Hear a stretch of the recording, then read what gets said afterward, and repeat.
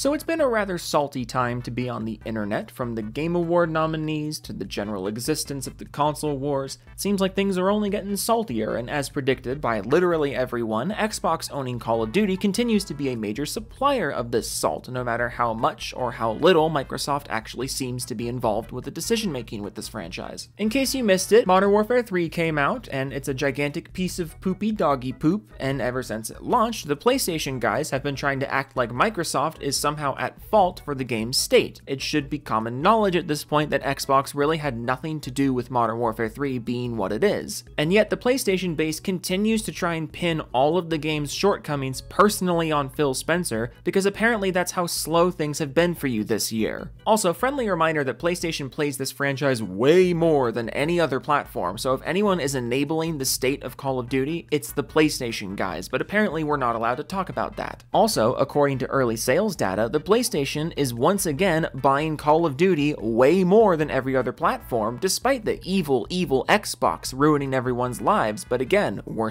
I guess we're just not supposed to talk about that. But we are currently in week three, I think, of Modern Warfare 3's run, and the Sony ponies are continuing to blame absolutely everything about it on Xbox. So naturally, we're going to keep making fun of them because it's not going to get any less stupid. So pour yourself some coffee, use code JOE at 4D Gaming for 10% off a nice mouse pad, and let's get into the stupid together. The Red Dragon posts a screenshot of the Steam charts for Modern Warfare 3, which is a weird move, but anyways, he says during last launch a year ago, Call of Duty hit nearly 500,000 players on Steam alone. So far, Modern Warfare 3 has failed to break 180,000, and recent reviews are sitting at a 44. Twitch stats are also extremely weak. Hashtag Xbox. I think my favorite part about this tweet is the fact that I literally said you were going to do this in my last Modern Warfare 3 video.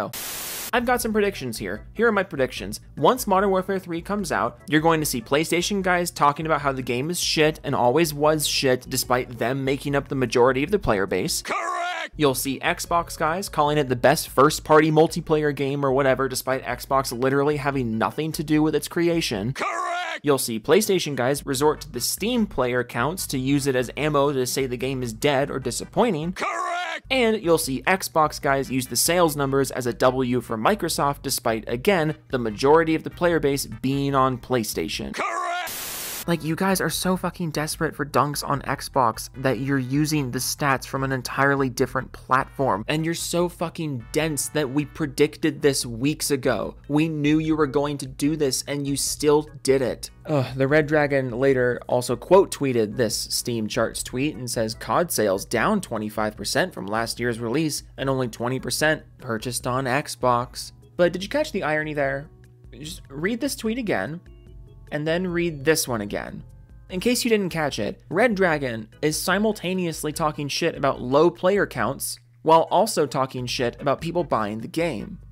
Ready boy, which one is it? Are people suckers for buying the game, or is no one buying the game? And again, the PlayStation guys are still buying this franchise way more than anyone else. So talking smack about how few copies are being sold on Xbox and PC is kind of a weird look. But let's just let's just wrap that let's wrap up the Red Dragon trilogy with one more to bring it all home. Because like a day after those two tweets, he said, Activision slash Xbox is already pulling Call of Duty Modern Warfare 3 maps because of terrible spawns, rushed game development, rushed out the door unfinished, glorified DLC for $70, egregious microtransactions. Gamers, let me give you $70 for that. So, let me get this straight. The game is shit. It's total shit. Xbox games are shitty shit shit. And yet, by your own admission, only 20% of the sales are on Xbox, and the Steam numbers are lower than they were previously. So, Mr. Red Dragon, advocate of PlayStation and hater of Xbox, where did the rest of the sales come from? Only 20% of the sales are on Xbox, and the Steam numbers are lower than last year, so that leaves generously 55 60% of the copies sold? Where were those copies sold? Could it be that your precious PlayStation, where quality reigns and no one would ever buy a shitty game like Call of Duty, could it be that once again, the PlayStation guys are buying Call of Duty in fucking droves? You absolute egghead? Like, I can't get over this. You talk shit about how garbage the game is. and you you talk shit about how shitty Xbox owned franchises are and how low the Steam chart numbers are while openly admitting that over 50% of the sales are on your platform. So does quality matter to you or not? You can't make the argument that PlayStation gamers have higher standards than Xbox gamers and oh Xbox Xbox first party games are just so low quality. You can't make that argument if the majority of the copies of that game are being sold on the platform that you hold in such high esteem. That literally makes no sense. Moving on, Nav says Xbox's excuse is that it was well into the development stages before the purchase. Funny thing is that Activision probably knew they were gonna get bought out, and if it happens with the next COD game, what will their excuse be? Waiting on tools. So, just so we're clear, Activision, the, the same company that's driven Call of Duty into the dirt, quality wise, for the last like decade and a half, and the same company that's pulled some of the shadiest business moves imaginable with their IP. You think Modern Warfare 3's level of shittiness is somehow at all connected to the fact that Activision knew they were going to be bought out by Xbox. Like, what? You're implying that Activision only half assed Modern Warfare 3 because they knew they were going to get bought out. But even if that were true, how would that contradict the fact that Xbox had nothing to do with it? You said Xbox are using it as an excuse that the game was in development before before Activision was bought out. That's not an excuse. That's just reality. Microsoft only took control of Activision Blizzard like 2 weeks before the game came out. Genuinely, what were they supposed to do in that situation? Xbox is not at fault for Modern Warfare 3, no matter how you want to look at this. And if you think it was somehow below Activision to release a game this shitty, like without any outside influence, like you think it was somehow out of character for Activision to do this, you haven't been paying attention to this company for very long. Unleashed says, hot damn, Modern Warfare 3 has no hype at all. GTA 6 is gonna clown COD so bad, it's not even funny. The downfall of COD under Xbox has just begun. I love the thing fanboys do where they start with a decent point and then go completely off the rails and destroy their own point. Like, you could have just stopped at Modern Warfare 3 has no hype, but then you decided to take it a step further and compare it to GTA 6. Like, yeah, of course it doesn't have hype compared to GTA 6.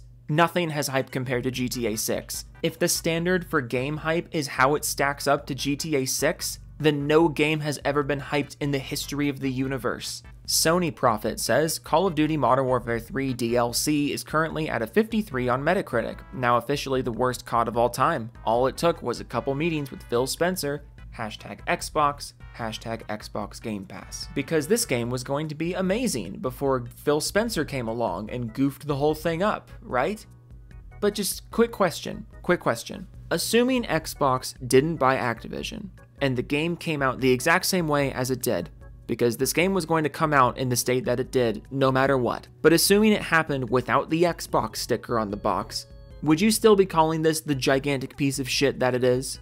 Because I really don't think you would. Uh, Sony Profit also did the stupid Steam chart screenshot thing. Says more bad news for Xbox as Modern Warfare 3 has peaked at 182,000 players, a huge drop from last year and one of the lowest launches in COD history. Modern Warfare 2 peaked at 488,000 hashtag Xbox, hashtag Xbox Game Pass. Again, using the Steam charts as evidence against the Xbox really isn't the best move because believe it or not, different platforms have different preferences for games. But also, maybe people just aren't as interested in this game as they were the last game across the board because the franchise just isn't as good as it once was, and this game was botched from the start and Xbox literally had nothing to do with it. Also, just because I know you don't understand how this actually works, a 182,000 concurrent player count on Steam is still ridiculously impressive. But it's not like I expect someone unironically named Sony Profit to know anything about how the PC market works. Like, regardless of whether or not 180,000 is less than the all time peak, that's still more than enough to get it in the Steam top 10, but I guess we just don't talk about that. JDub tweets out a really crude Photoshop of VGC's Modern Warfare 3 2 out of 5 review. He slapped an Xbox logo on it with a really, really bad Photoshop job there. Like, how do you fuck that up? Like, it's literally a, a circle PNG. How do you fuck that up? And then he gives Price a speech bubble. It says, What do you expect from Microsoft? Quality? this is like, this is just so tiring. Like, where was this energy when COD was shit before? Like, seriously, the franchise wouldn't have gotten this bad if people didn't eat it up every year. And as we've established, the PlayStation dudes didn't seem to care until literally just now. Y'all have been enabling Call of Duty like crazy, year after year, but now, suddenly, it's all Phil Spencer's fault. It's all Xbox's fault. Like, crazy idea, maybe we wouldn't have gotten such a shitty COD if you hadn't bought all the shitty CODs up to this point. You guys are so desperate to wash your hands of this whole thing. It's insane. Unleashed tweets out the fucking Homer in the hedge meme. Call of Duty belongs to Microsoft. And then the 53, he, backs into the hedge. Activision is responsible for Modern Warfare 3. Like, yeah, this isn't the zinger you think it is. Like, it's just not. This these are two unrelated true statements. Xbox owns Call of Duty, yes. And Activision is responsible for Modern Warfare 3, yes. Stating the obvious in a meme format doesn't make it a meme, it just makes you kind of dumb.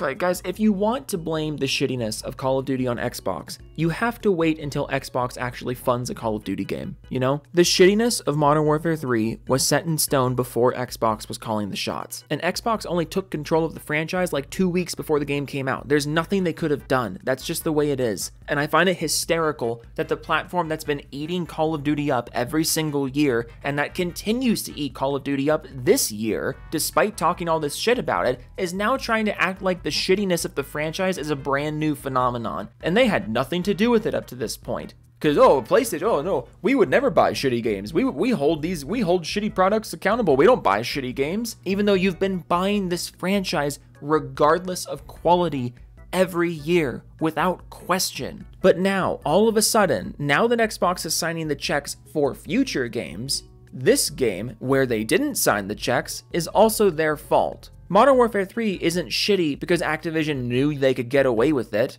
because Activision knew you people would buy it regardless of quality. No, it's shitty because of Xbox.